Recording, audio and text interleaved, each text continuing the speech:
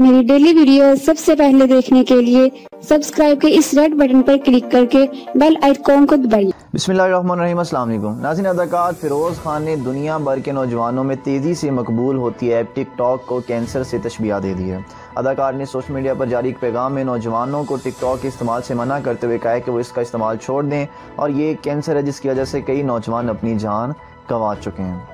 اور واقعی میں ایسا ہی ہوا ٹک ٹاک کی ہی وجہ سے حریم شاہ نے پاکستان کا نام بدنام کیا، پھر ایک لڑکی جو کہ مزار کاج، قائد پر ڈانس کر رہی ہے، پھر وہ فیصل مسجد پر جا کر ڈانس کر رہی ہے۔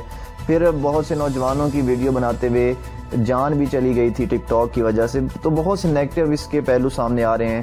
تو اس چیز کو واقعی میں آئی تھنک ختم ہو جانا چاہیے، کیونکہ اس سے ٹھیک ہے، جو لوگ یوز کرتے ہیں، جن کو کوئی تھوڑا بہت فیم ملا ہے اور وہ ٹک ٹاک یوز کر کے پتہ نہیں وہ کیا بنے بیٹھے ہیں۔ تو میرا نہیں خیال ہے کہ یار جس چیز سے ہماری قوم کا، ہمارے ملک کا نقصان ہو رہا ہے اس چیز سے ہم فیم حاصل کریں۔ فیم حاصل کرنے کے بہت دوسرے طریقے ہیں۔ پازیٹیو چیزیں آپ یوز کریں۔ تو ویسے بھی یوٹیوبرز کو ٹک ٹاکر ویسے بالکل بھی پسند نہیں ہوتے۔ خیر Feroz Khan film touch button میں اداکار سونیا حسین کے ساتھ جلوہ گر ہوں گے فلم رواں سال سینما کی زینت بنے گی۔